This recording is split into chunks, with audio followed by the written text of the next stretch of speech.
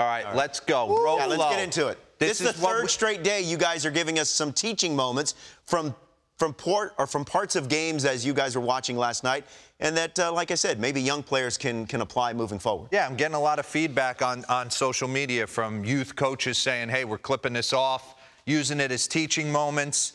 We have a lot of fun. There's a lot of silly on the show, but no one does it better than Billy Rip going through the fundamentals of the game. So as we're sitting there on the four box last night, there's a couple different plays that jumped out at me that I just scratched down, and I want to get Billy's opinion on it. Let's start in Philadelphia.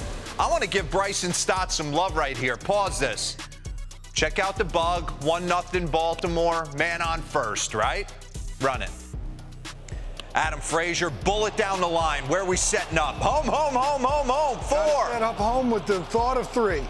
And Bryson Stott right there. When we get the high home, what I love about him is the game moves slow for him. Okay? So he's setting up four like he's got to play at the plate with this guy.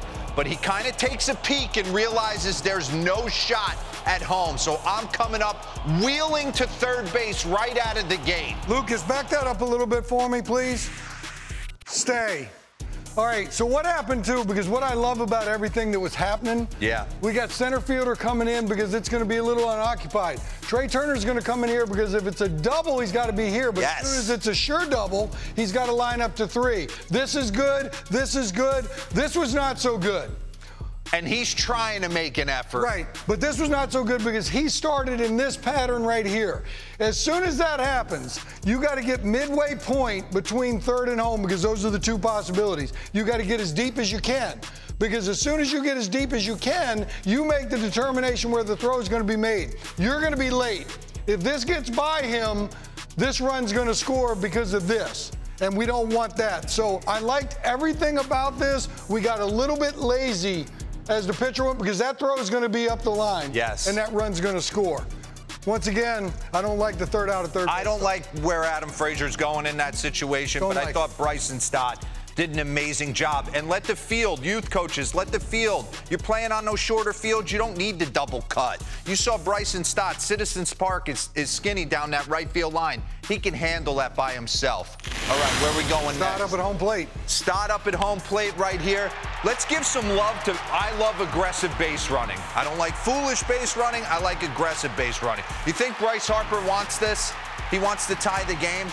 And you try and teach the kids where are you supposed to hit the bag? He never breaks stride. He's hitting the inside part of the bag. I used to listen to Jeff Bagwell talk about I almost wanted to use the inside part of the bag as a baby trampoline that kind of springboard me towards the next base. Watch Bryce Harper because the number one takeaway I have from this, he wants to score. Oh, yeah. You're He- always thinking the extra base. So the idea of Bryce Harper when he runs the bases, there's a want to.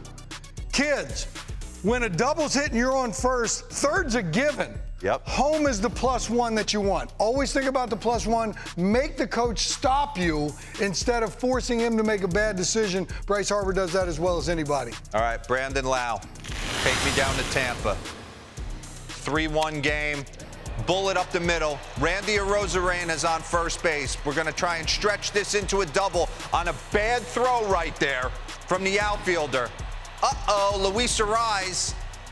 Pitcher was in the spot he's supposed to be. Randy Arozarena does some pretty occasional silly Crazy things stuff. out on the field. Airmail. So pause that for me right there. Back it up a little bit, right there. Lowe's coming around first base hot. He's reading the throw. Once he sees that airmail Joey Wendle, he knows he's got second base. Keep that That's frozen. your first thing. Keep that frozen because do we not get in the right spot as a pitcher enough where, uh oh, uh oh, we forgot about him? Yep. He's supposed to be there. Keep so running. play that. Watch this. Oh. Pitcher's in the right spot. Ro- Rosarena is wearing all camo because I can't be seen. Look at this. No one sees He has me. no idea. I'm invisible. I'm invisible. Got him. Yeah. But by the way, why in the world do you call him safe to begin with? All right, I want to talk about one thing real quick right here. Freeze it. Now, in this situation, you're better served as a center fielder. I got to get Wendle a little bit deeper. I, I have to get him a little bit deeper because he's going to cut the ball off. In the ideal, perfect scenario right here, this should end up first and third with one out. Yep.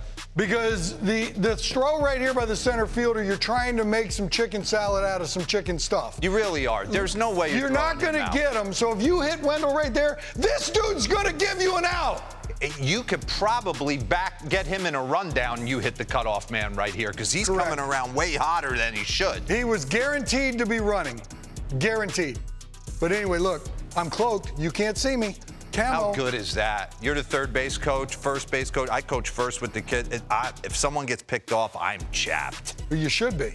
All right, Ding. last one. I just wanted your feelings on this. Well, you know I hate making the third out at third base. But do you take the aggressiveness away from Manny Margot? But I love Joey Wendle Ding. playing short, coming over to kind of back up Jean Segura and knowing he's got to be at third base. Boom!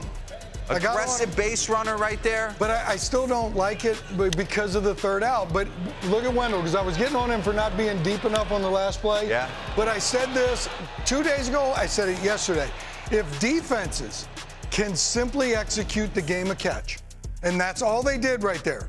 Third baseman to the first baseman, first baseman to the shortstop at third base. They played catch twice. When you do that, they will give you outs. Yeah. And you got an extra bonus one for us It's not on a tile.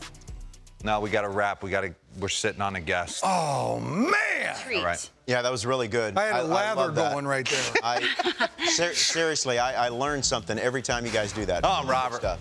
Good stuff.